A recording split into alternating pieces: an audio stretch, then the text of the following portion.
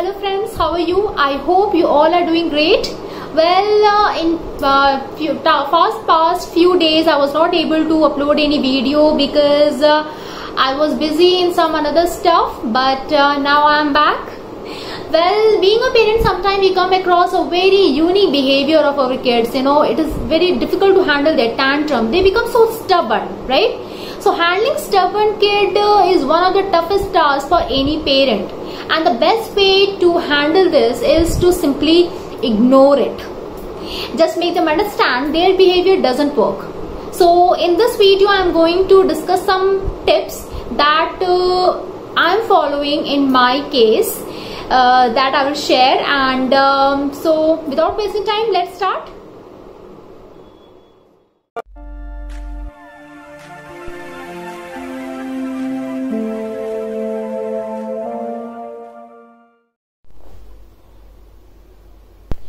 Well, first of all, it is very important to identify whether your child is determined or stubborn because uh, there is a slight difference between determined kid and stubborn kid. Okay, strong-willed child always asks so many questions: why, when, what, etc. Um, it's okay, fine. They want some clarification. That's it. On the other hand, stubborn kid, they always stick to their opinion and they will not listen your words. Stubbornness is a unwavering determination of doing something in their own way. They just don't want to change their behavior, action, opinion at any cost. Stubborn, uh, stubbornness may be genetic or um, acquired depending upon the situation. Communication is a two-way lane. Always uh, try to listen your uh, kid whenever they actually want to express themselves. Might be uh, sometime they have uh, some strong opinion some strong point that they want to put. So for example uh, you have prepared lunch and uh, your kid don't want to have it then please don't force them right? Just try to understand what's the problem why they don't want to have it right? Might be they have they are suffering from any um, stomach ache or they are in playful mood correct?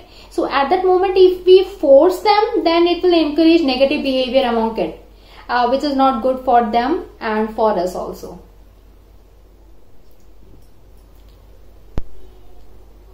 If you force your child to do something then they uh, tend to be rebel so just try to build up a connection just try to make a bond yeah, for example if you force a five year old kid uh, who insists to watch TV uh, past a bedtime uh, will not work. Instead, just sit with them, take some interest in their activity. If you show your concern, then definitely kid are likely to respond. I know that uh, uh, it's not necessary, uh, like the ball will be not in your court all the time, but you have to stay calm. I know it's not very easy but not difficult also. Suppose a child adamantly say I will not go then what?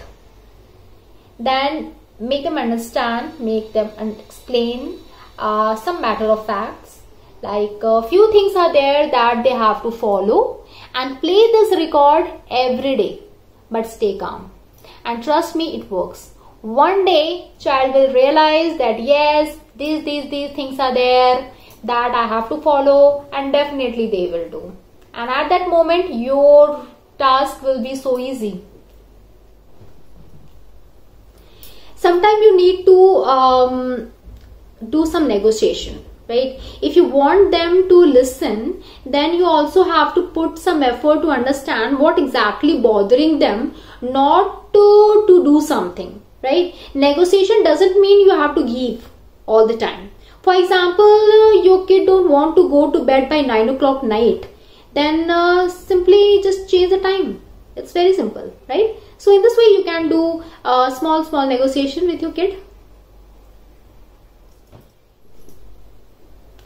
Well, in my previous uh, video uh, where uh, I mentioned how Bhagavad Gita helps in parenting, uh, I mentioned that we should give multiple choice to our kids, right? For example, if I say to my five-year-old kid, like, uh, no come it's a sleeping time. He will not take interest. Of course he will not take interest. But if i say that uh, no it's not a sleeping time it's a story time. Which story you want to listen? Story a or story b? So he will take interest right? So in this way we can encourage our kid uh, uh, we can make our kid to do the same thing that actually we want. So being a parent you know that what are the likes and dislikes of your child right? So you can use these instruments in this way well that's all for today. If uh, being a parent if you're facing this situation then definitely these tips will work. And if you find this video uh, informative if you like it then please like share and don't forget to subscribe and press the bell button icon so that you will get the notification of my upcoming videos. Till then stay safe stay healthy. Thank you so much. Bye bye